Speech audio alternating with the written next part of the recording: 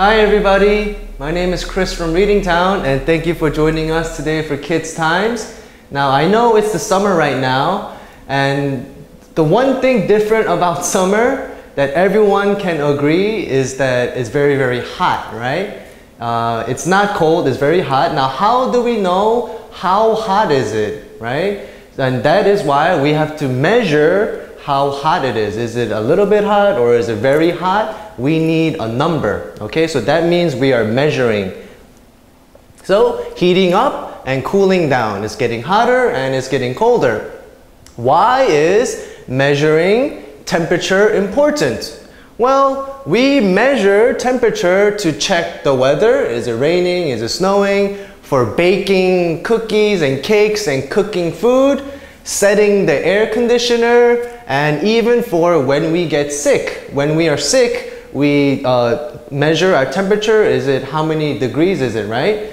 So in Korea, we use the Celsius scale to see how hot or how cold something is. So Celsius means the number. So if it is very hot, then it is 30 degrees Celsius. If it's very cold, then it is you know, zero degrees Celsius. Celsius is talking about the temperature, how hot the, weather, uh, the air is. So the, using a thermometer, thermometer is the tool that has the numbers and it has the red pillars. The red pillar goes up and goes down the scale as the temperature changes. So on the thermometer, the hotter it is, the higher the pillar goes up, right? The red pillar. And if it's cold, then where does it go? Well, the pillar goes back down again. So 30 um, goes up 38 degrees now things are heating up. So 38 degrees celsius is that very hot or is that very cold? Well it's about the same temperature as our body so it's pretty hot it's not cold. All right we have three review questions here. A, we measure, see how much blank to check the temperature. So again, this little tool here, that is the thermometer, right? And these numbers, it is telling us the temperature. Temperature is talking about the number of how hot or cold something is, okay? We say, what is the temperature? Oh, the temperature is 35 degrees Celsius. B. Koreans use the blank scale to see the temperature. We see here we have one that says C and one that says F.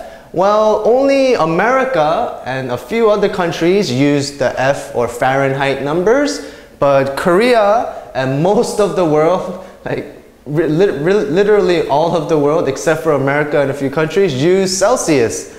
So we're going to say Koreans use the Celsius scale to see the temperature, okay? This number right here.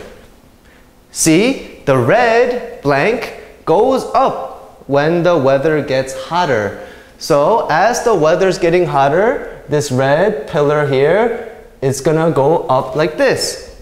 So that's what we call a red pillar. The red pillar is the sort of alcohol in the middle and when it gets hot, the pillar goes up. When it gets cold, the pillar goes down again. All right, we have three review grammar questions here. A, measuring temperature, blank, important. All right, so here we have our normal v, be verbs, and we have is, are, and be. All right, so are is used for when there are many subjects. There are plural subjects, right? So if we have cats, then we say cats are, or dogs are, many dogs are, right? For B, we need a main verb. So we can say, I want, that want is the main verb. I want to be important. I try to be important. So the answer here is is. Because measuring temperature, that is just one action. So for one thing, we have to put is. My one friend is pretty. My many friends are smart, all right? So this is talking about how many numbers or how many subjects there are. B, we measure temperature for blank and cooking. So when you bake something, we use the oven and we bake a cake or some cookies or something like that. And this is a noun, right? It's a noun, it's an action. So is cooking. Cooking is a noun, I mean, sorry, this is a verb. I'm very sorry. This is a verb and cooking is a verb as well. And in this sentence, we must match the verbs. So we have a hint here. It says cooking, right? So these verbs have to match with bake baking. So I like running and playing, right? So these tenses have to match. If this was cooked, then it will be baked. I baked and cooked, right? So the tenses have to match in the sentence. See, the hotter it is, the blank the pillar goes. Again, we can uh, sort of match the comparative words here. This is saying more hot. If it gets more hot, then it will get more high. So it says hotter. So which one is matching the ER here? Well, it's this one here. ER.